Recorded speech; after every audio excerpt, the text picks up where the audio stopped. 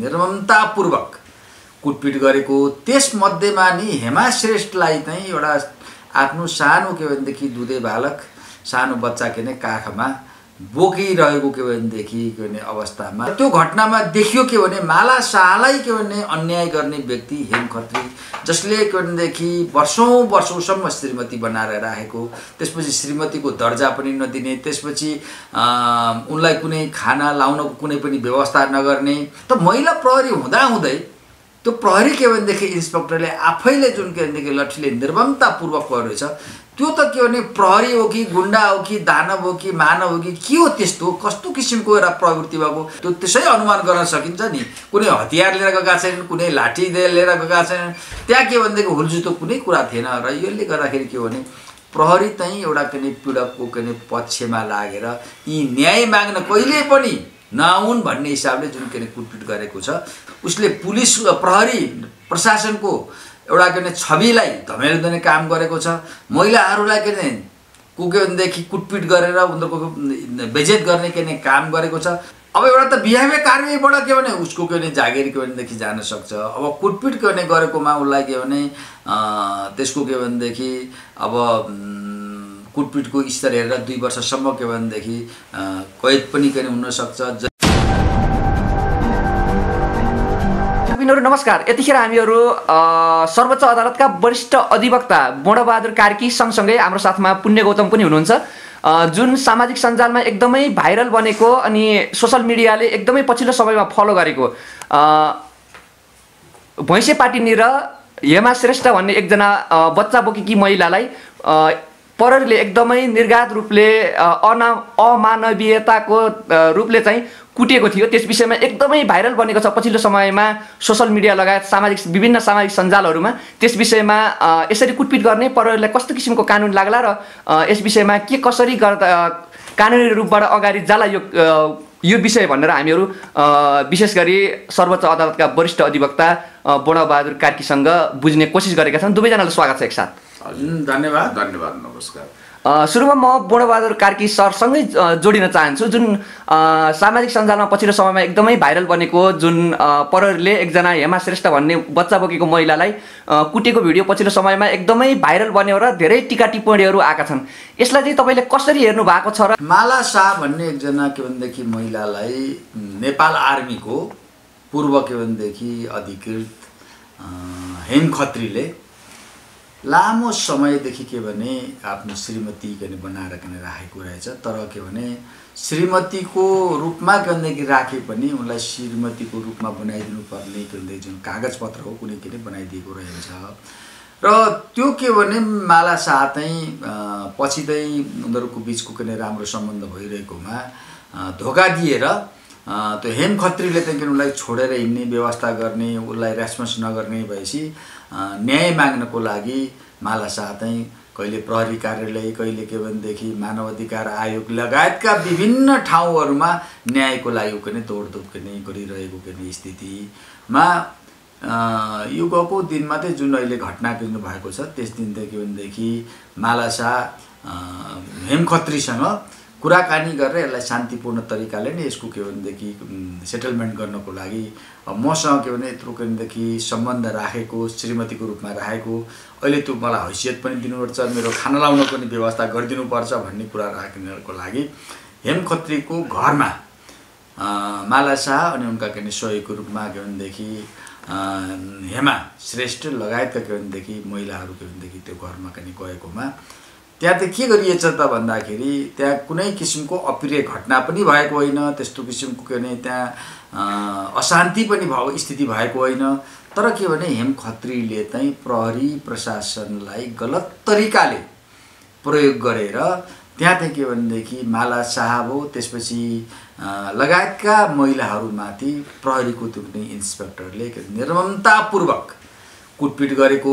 त्यसमध्येमा नि हेमा श्रेष्ठलाई चाहिँ एउटा आफ्नो सानो के भनेदेखि दुधे बालक सानो बच्चा के भने काखमा बोकिरहेको के भनेदेखि के भने अवस्थामा पछाडिबाट प्रहरी अधिकृतले आफैले लट्ठीले के भनेदेखि निर्ममतापूर्वक कुटेको धन्न त्यहाँ स्थिति के हो भने ती हेमा के लडेको भए अथवा त्यो उनको हातबाट त्यो बच्चा के भनेदेखि भुइँमा खसेको भए त्यो बच्चाको के भने ज्यान जानेसम्म सक्ने स्थिति के भनेदेखि रहेछ तर उनले त्यत्रो निर्ममतापूर्वक प्रहरी इन्सपेक्टरबाट कुटाइ खाँदाखेरि पनि त्यो बच्चा चाहिँ उनले के भने छोडेको नछोडेको त्यो के भनेदेखि अहिले भाइरल भएको भिडियो के भनेदेखि अरूबाट युट्युबमा रहेका भिडियोहरूबाट के भने देखिन्छ।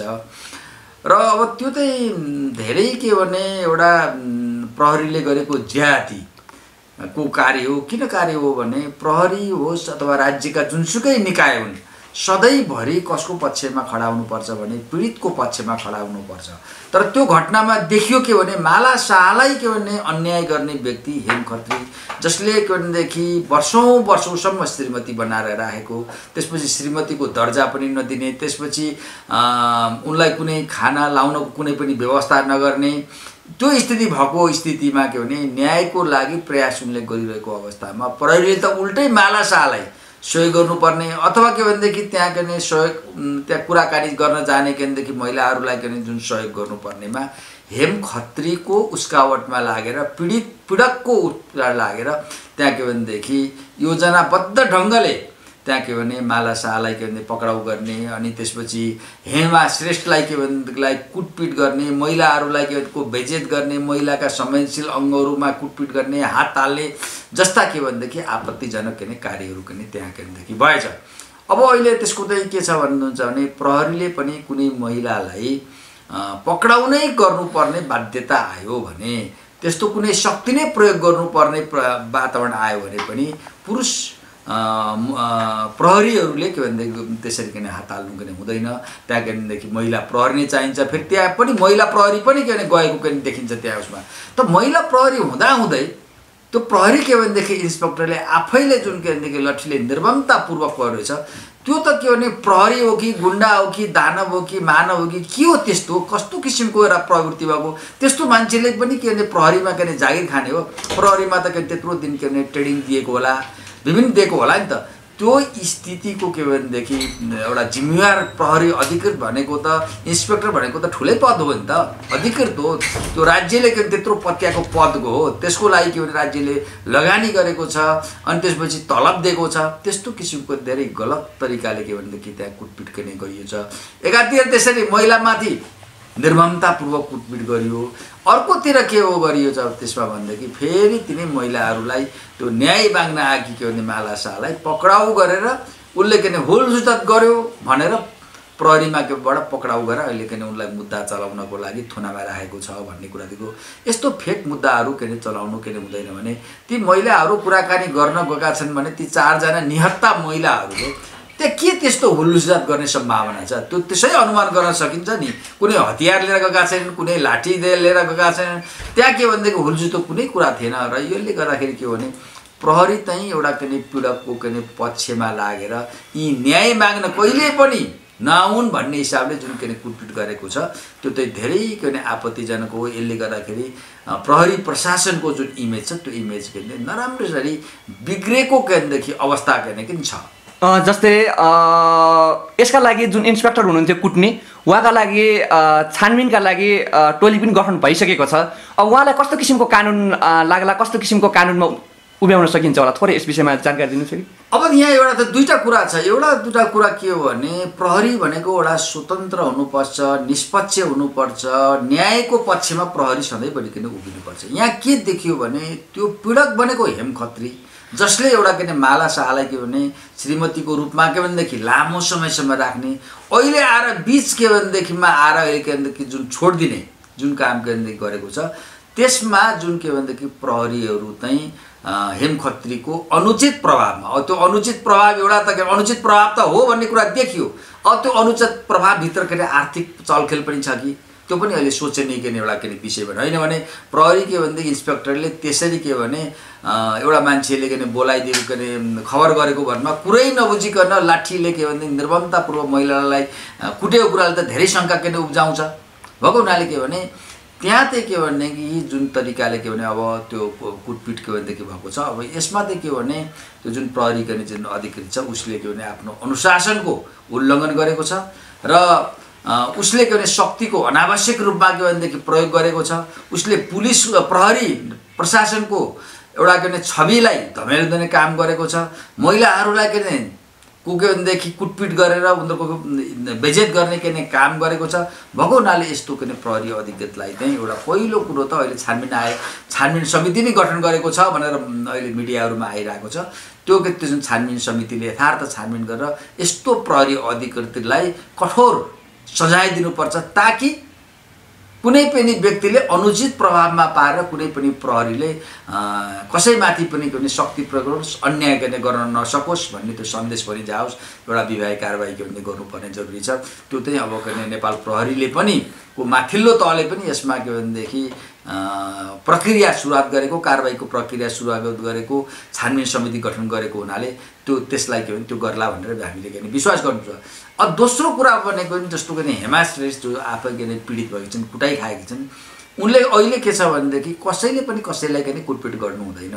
पहिला के अरे प्रहरीले के भने कुनै कसुर गरेको मान्छेलाई कुनै अपराधमा मुछिएको मान्छे पनि छ भने त्यसलाई प्रहरीले के गर्थ्यो भने कुटपिट गर्ने के अरे चलन थियो। तर अहिले कानुनले त्यो कुरा के निषेध गरेको छ कुनै पनि व्यक्तिलाई अपराधै गरेको छ भने पनि उसलाई के भने कुटपिट गर्नु के हुँदैन भन्ने किसिमको छ।